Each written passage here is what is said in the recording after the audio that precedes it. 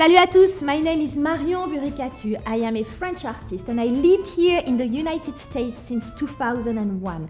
This video is about art and how to impress your friends and family at the museum with three easy facts. So, was Mary Cassatt a modern artist? Well, merci for asking this question and you'll get the answer at the end of this video.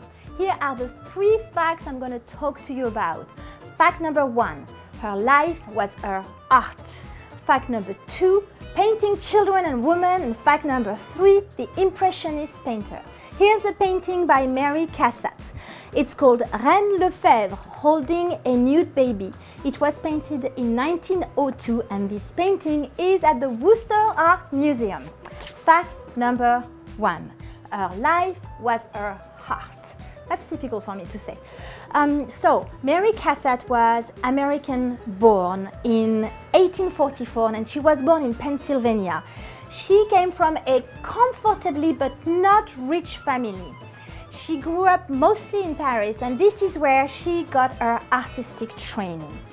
Marie Cassatt wanted to be recognized as a professional, not a woman who paints, as was the expression at that time, because women from the upper class at that time in France or in America were expected to know the art d'agrément, and the translation for that, I would say, would be the creative art. So that means that they were supposed to know how to sew, they were supposed to know how to draw, how to play music, how to paint, but they were not supposed to become professional.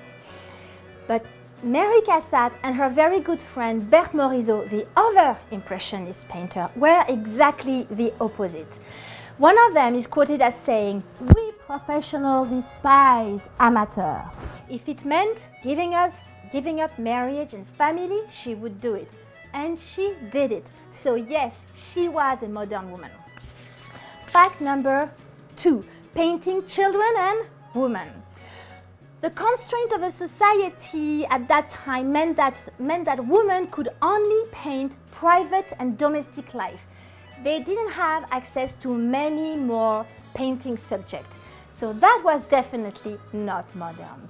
Also, Marie Cassatt was very conventional in the way she dressed, in her manner and in her background. She lived with her family in a Parisian apartment. She was definitely not living the social Parisian life. And she would only see Edgar Degas and Berthe Morisot, also upper class because they were the only ones that were acceptable to them. So that's definitely not modern. But she would do something.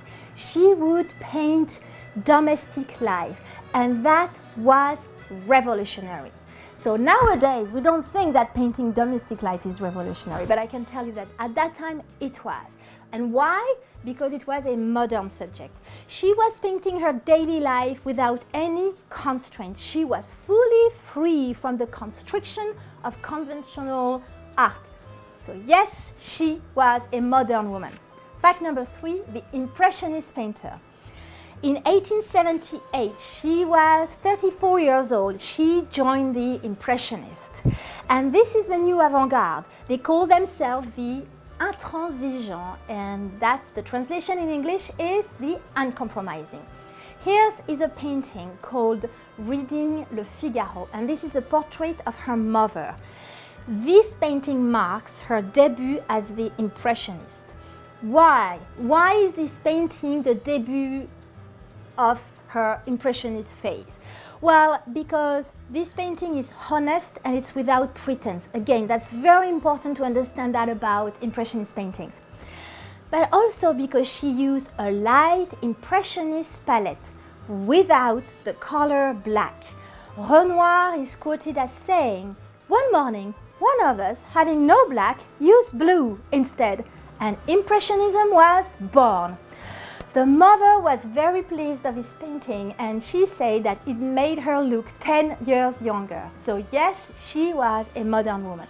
So here are the three facts. Easy to remember about Mary Cassatt is she a modern artist? Fact number one, her life was her art.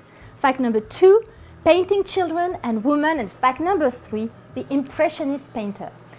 Now, if you want to impress your friends and family even more at the museum or just have fun at your next dinner table, the next video is just for you because I have created seven trivia questions.